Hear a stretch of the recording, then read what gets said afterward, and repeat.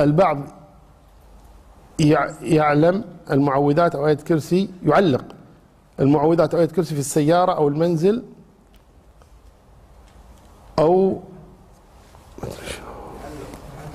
أدري يعلق المعوذات أو آية الكرسي في السيارة أو المنزل أو مدري شنو يلبسه هل يأثم ما حكمها. على كل حال تعليق ال- القرآن ما نزل ليعلق.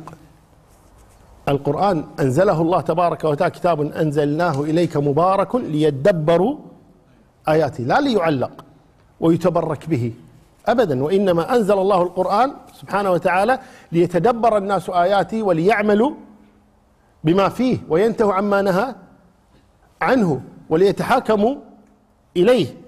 أما أن يكون القرآن للتعليق يعلق في السيارة يعلق في البيت يعلق في هذا- ما لهذا أنزل القرآن.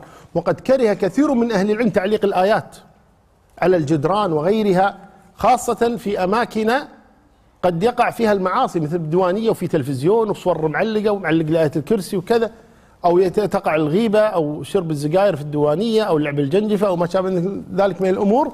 وآيات القرآن كأنه فيه نوع من يعني الإهانة للقرآن الكريم حقيقة. أن القرآن معلق وال- والموسيقى على حدها وال- والجنجفة والزجاير والغيبة وهذا والقرآن معلق. هذا كان في عدم مبالاة والعياذ بالله.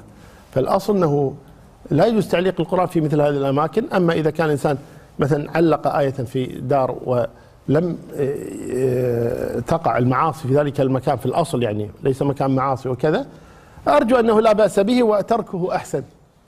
ترك تعليق الآيات أفضل خاصة بعد الآن بعض الآيات ناس تعلق يعني أنا رأيت يعني قال اركبوا فيها بسم الله مجريها كاتب الآية على صورة سفينة مثلا. طيب؟ والطير صافات كاتب الآية على شكل طير.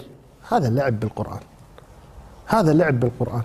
وهكذا يجيب كل آية ويرسمها على صورة آه، ما تتكلم عنه. هذا من العبث بالقرآن. خلاص الناس ما تبي تقرأ القرآن ما تبي تعلم القرآن قامت تلعب بالقرآن.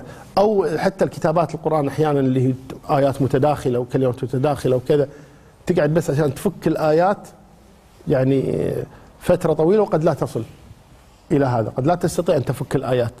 ليش؟ ما لهذا أنزل القرآن.